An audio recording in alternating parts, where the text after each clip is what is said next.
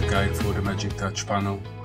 So the first thing you need to do after you buy the panel is to click on the button on the confirmation page on the website and download the zip file.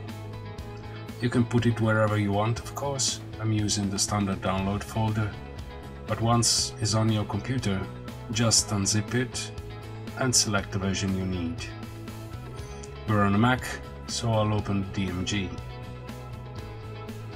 Once you agree with the license, the disk image will open and then you simply have to double click on the install Magic Touch button.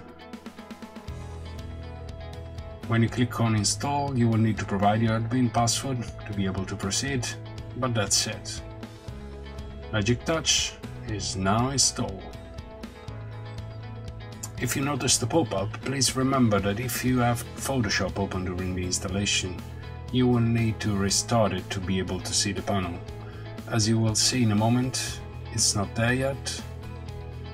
But if you close Photoshop and then open it again, you can find it under Window, Extensions, Magic Touch. Now, the first time you load the panel, we'll ask you for your serial number, and you can find it in the same page we used for the download, but also in the email you received after your purchase.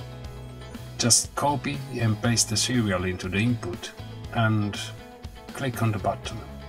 Done. You can browse through the sections from the home page or from the menu that is right on top of every page. And you can also click on the gear icon on top to get to the settings page.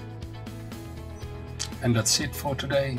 I hope you enjoy your Magic Touch panel and I'll see you next time.